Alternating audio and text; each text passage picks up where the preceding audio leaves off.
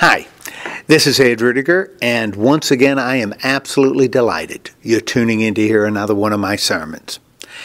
Now, I'm preaching this particular sermon in my church in Sligo, Pennsylvania, at Sligo Presbyterian Church. And Sligo is a little town in northwestern Pennsylvania, about 10 miles south of Clarion, right off of Interstate 80.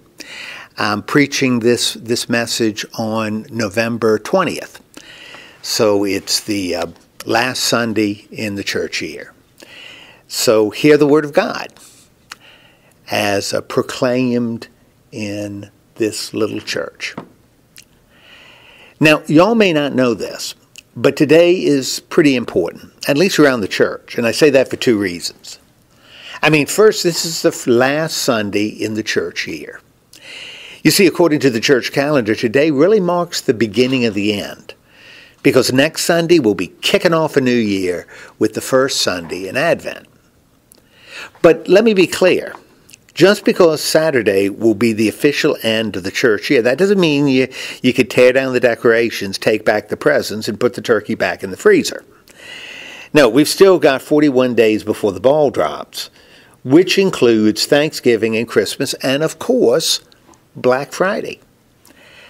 But according to the church calendar, we're heading into the last week of the year, and that's one reason today is important. And second, again, according to the calendar used in the Christian church, today is called Christ the King Sunday. You see, before moving into Advent and all the stuff leading up to his birth, on the last Sunday in every year, traditionally, Christians have focused on his kingship. In other words, we intentionally think about what it means to say that Jesus is king. And even though I'm not what most Presbyterians would call a traditional kind of guy, that's going to be our focus this morning.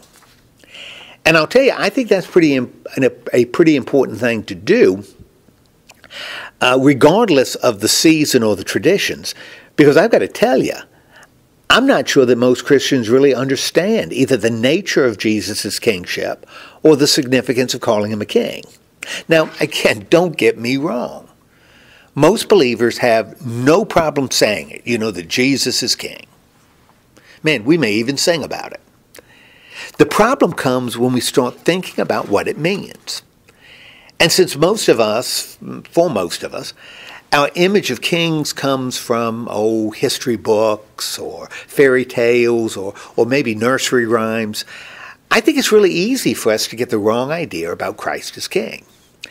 I mean, instead of the indulged and arbitrary monarchs we've run across in the past, men that uh, people either feared or tried to overthrow, the kingship of Jesus Christ is special, it's unique, unlike anything we can find in our world.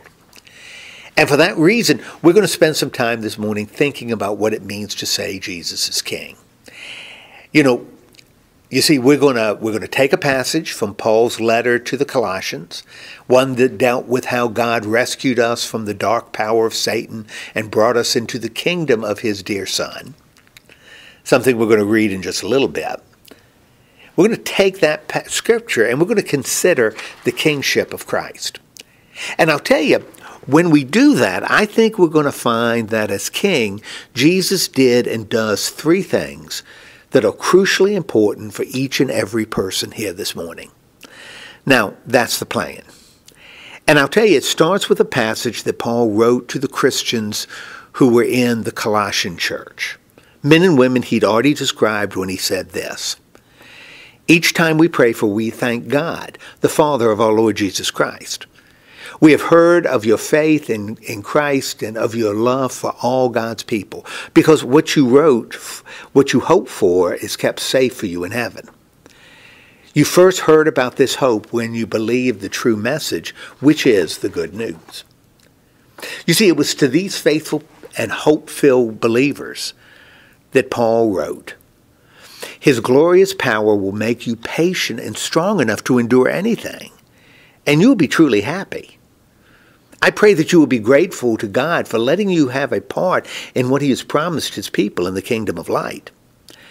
God rescued us from the dark power of Satan and brought us into the kingdom of His dear Son, who forgives our sins and sets us free.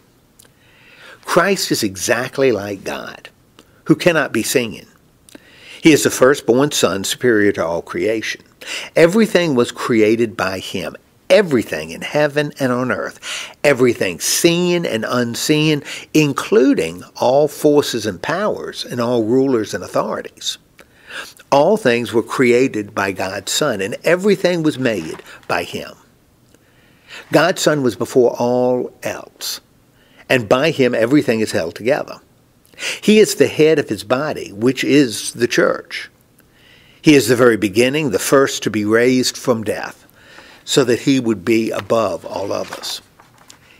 God himself was pleased to live fully in his Son, and God was pleased for him to make peace by sacrificing his blood on the cross, so that all things in heaven and on earth would be brought back to God. Now that's what he wrote. And I'll tell you, based on what he said, I think we can say three things about the kingdom of Christ, each of which can affect us in a different way. For example, first, according to Paul, as king, Jesus is the creator. In other words, he has he was the origin of all things, including some of the stuff that people often assume we've done for ourselves. And I think that's exactly what Paul was getting at when he wrote Christ is exactly like God, who cannot be seen. He is the firstborn Son, superior to all creation. Everything was created by him, everything in heaven and on earth, everything seen and unseen, including all forces and powers and all rulers and authorities. All things were created by God's Son, and everything was made for him. Now, that's what Paul said which, when you think about it, isn't all that different from what the evangelist John wrote right at the beginning of his gospel. In the beginning was the one who is called the Word. The Word was with God and was truly God. From the very beginning, the Word was with God. And with this Word, God created all things. Nothing was made without the Word. Everything that was created received its life from him, and his life gave light to everyone. You see, as king, Jesus is the creator. And you know, I think that's something important for us to remember, and I'll tell you why. It's sort of like we talked about last week. Sometimes human beings can become a little too big for our britches. And the more important we think we are, the bigger we get. In other words, whether we're talking about stuff that's global or things far more personal, we seem to assume that it's really about us. That we're sort of the alpha and the omega, the beginning and the end. And that if we don't do it, man, it won't be done. And without suggesting that God wants us to sit around and do nothing, we are not the creator. We never were, and we never will be. As a matter of fact, the best we can do is to manipulate what God has already made, what Christ has already made. That's who we are.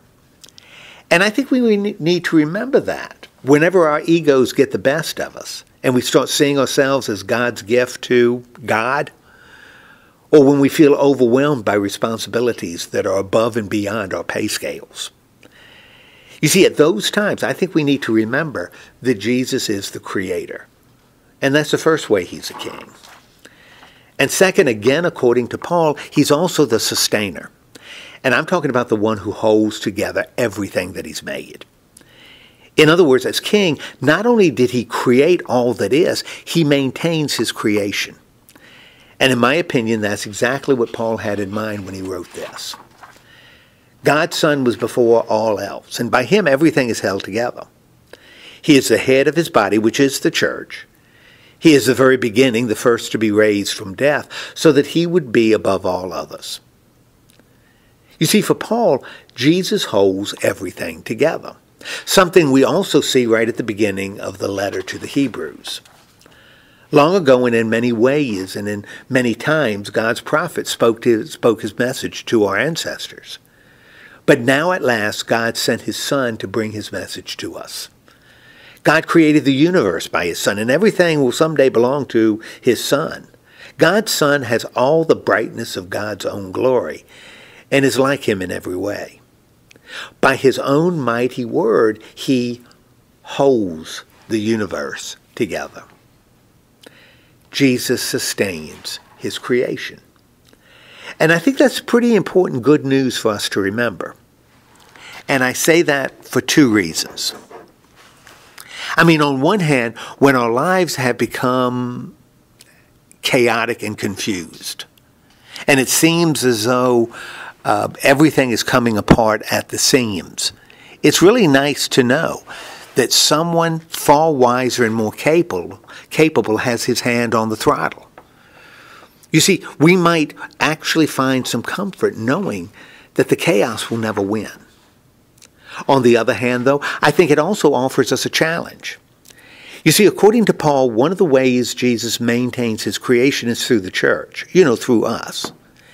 And even though that doesn't mean that it's all up to us to keep things together, I believe it does challenge us to come together as a body, and I'm talking about a community, and together to do the stuff God has called and equipped us to do. And so, along with feeling comfort, we can also find a challenge because God, Jesus is the sustainer. And for me, that's the second way he functions as a king. And third, along with creating and sustaining as king, Jesus is also the redeemer. In other words, through him we have peace with God. But more than that, we have the possibility of entering a genuine relationship with the one who loved us before, man, before the light first shone in the darkness, and who will love us long after time has lost its meaning. Jesus is our redeeming king. And I believe that was Paul's point when he wrote. God himself was pleased to live fully in his Son. And God was pleased for him to make peace by sacrificing his blood on the cross, so that all beings in heaven and on earth could be brought back to God. Now, that's what Paul said, something that I believe Peter also understood when he wrote this in his first letter. You were rescued from the useless way of life you learned from your ancestors. But you know that you were not rescued by such things as silver or gold that don't last forever. You were rescued by the precious blood of Christ, that spotless and innocent Lamb. You see, Jesus is most definitely the Redeemer. And I'll tell you, because of that, we've been set free. You see, we've been set free from all those rules and laws that we've been told will make us right with God. And I'm talking about all those words we have to say, and all those promises we have to make, and all those works we have to do, which will make us acceptable to God. From all that, we've been set free. Because not only did the blood of Christ wash away our sins, it wiped out the whole idea that redemption was something we have to earn and deserve. But that's only half of it, because we've also been set free simply to trust. To trust that God's love has always been present, and to trust that through Christ this love was shown, and to trust that in spite of our weakness, the Holy Spirit opens our eyes so that we can see, and our minds so that we can understand, and our hearts so that we can feel the grace and mercy God freely gives. You see, we are now free because Christ is our Redeemer. And that's the third way he acts as our King. And that's something I think we need to remember as we move past this Sunday and enter a new year. I mean, as we're cooking the turkey and buying the presents and putting out the decorations, let's keep in mind that we're doing it because Christ is the creator and the sustainer and the redeemer. In other words, as we enter the season of Advent, and focus on the child whose birth we'll be celebrating in 35 days. Let's remember that we're looking at someone who's far more than just an infant, because Jesus is King. Amen. Well, again, I am delighted that you listened to this message. I hope you found it meaningful.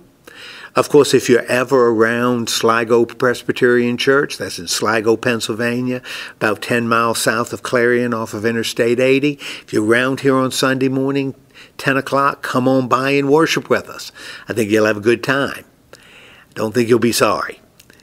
And if, of course, if you're around here on Wednesday morning, 1030, uh, please come by and join in a Bible study. We're, we're looking at the book of Romans right now.